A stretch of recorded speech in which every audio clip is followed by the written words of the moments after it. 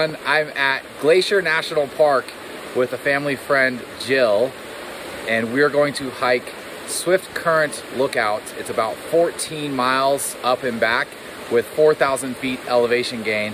We're looking at one of the hiking forums and the second most recent comment was, I saw a bear on the trail just about 30 feet from us. So Jill has brought her bear spray. Wish us luck.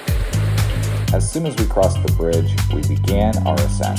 In 2003, a fire destroyed most of this area, and though the ground cover has had a chance to recover, the trees have not. So we will be walking under direct sunlight for a majority of our journey.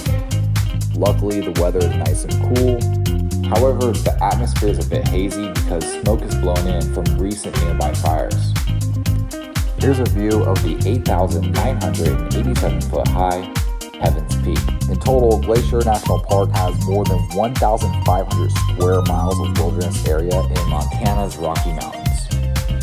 There are more than 800 miles of hiking trails through the glacier carved peaks and valleys and an abundance of wildlife. All of the Flathead River area, Flathead Valley, has these amazing colored. And I have this like fantasy of making a floor that looks like that. That'd be awesome. Wouldn't that be amazing? Yeah.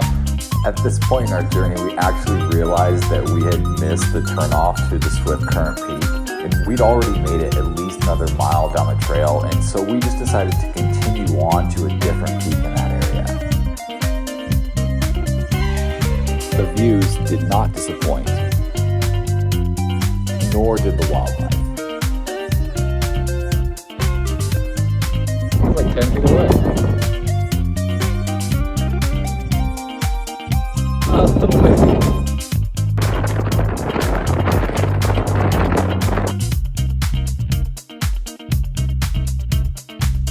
Yo, you some peanuts or something? What do you think? Glacier! Glacier!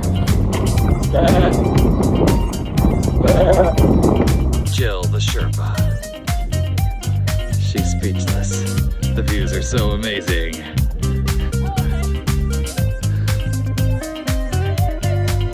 Wow, that's a really cool shot right there.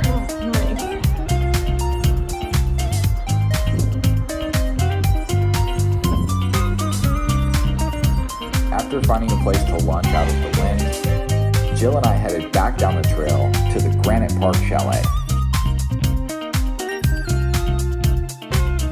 I needed more water. Luckily, Sherpa brought her pump with her, and I had whatever this thing is that I just picked up. I also just picked up these Altra shoes, and I've never used any like this before, but they were freaking amazing. I put together a gear list below, and if you purchase anything using those links, it will go to help support this channel.